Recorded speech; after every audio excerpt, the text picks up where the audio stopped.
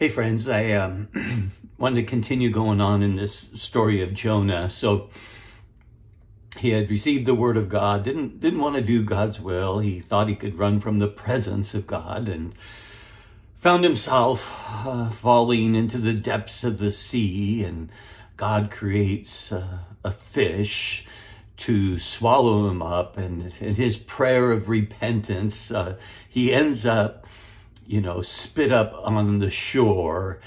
Uh, and then we come to um, chapter number three.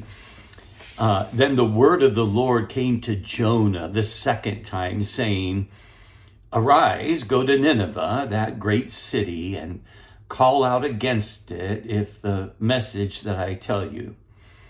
Uh, so Jonah arose and went to Nineveh according to the word of the Lord. Now, Nineveh was an exceedingly great city, three days' journey in breadth. And Jonah began to go into the city, going a day's journey, and he called out, Yet forty days, and Nineveh shall be overthrown. That's a pretty simple message. um, he goes in and he just tells them, uh, they're, they're going to be overthrown in 40 days. Now look at the response. Well, a couple of things first. Do you see how God loves Jonah and gives him another and another chance? A lot of prophets in the land he could have chosen, could have given up on them, could have dismissed them. But he calls them and this time, Noah receives the word of God for these people, and he goes into the city and he proclaims God's message. Now, the Ninevites were known historically to be an evil, uh, violent people. Uh, the Jews hated them, they hated the Jews, and Jonah just didn't want to give them a chance at repentance. And yet he, he gives them the message. And the people of Nineveh believed God. They called for a fast and put on sackcloth from the greatest of them to the least of them. The word reached the king of Nineveh, and he arose from his throne. He removed his robe. Um, he covered himself uh, with sackcloth and sat in ashes. Now, all of these were uh, his uh, symbols of uh, repentance and mourning uh, in that time. And he issued a proclamation and he published it through Nineveh. By the decree of the king and his nobles, let neither man nor beast, herd nor flock taste anything let them not feed or drink water, but let men and beasts be covered with sackcloth, and let them call out mightily to God. Let everyone turn from his evil way and from the violence that is in his hands. Who knows? God may turn and relent and turn from his fierce anger so that we may not perish. So here these people are, the Ninevites. They were idolaters, and yet they had a keen awareness of the one true God.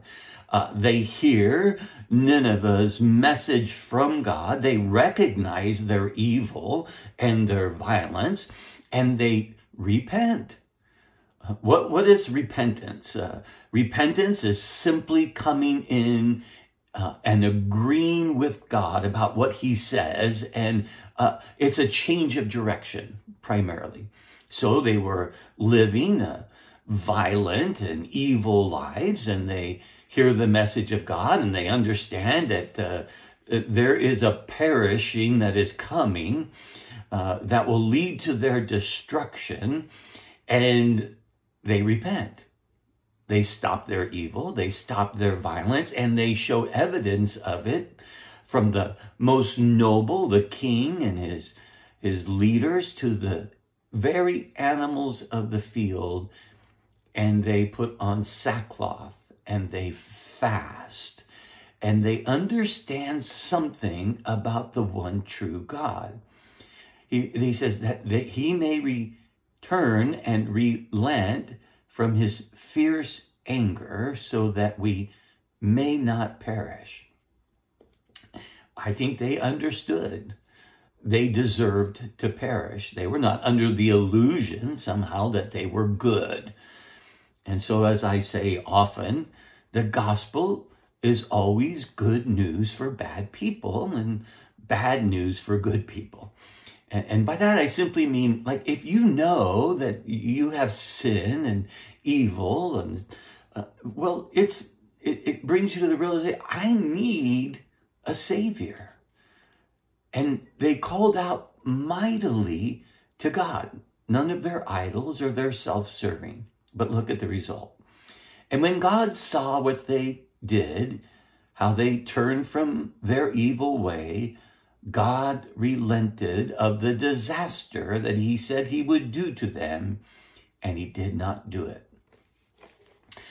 We somehow uh, isolate ourselves and we think, well, Israel as the people of God are the only people that God cares about.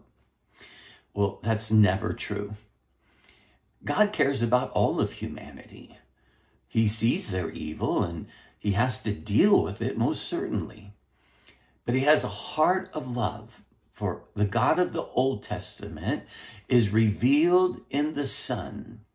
He shows us that God is love and that there is no people, no sinner that he doesn't desire to come to repentance, to know what it is to be forgiven and in relationship with him. Well, you think about it and, and see that you too are that one that God has chosen to make his appeal through. And it might very well be to a people group, a person that you don't even like. Are you going to run from that calling? Or will you go in and proclaim? Because there's someone that God is going to bring into your life, even today, this week, that needs to know God's great love for them. And I hope you will search out for just one, just one every week. Even if it's your enemy, even if it's someone who's hurt you, even if it's someone you don't like.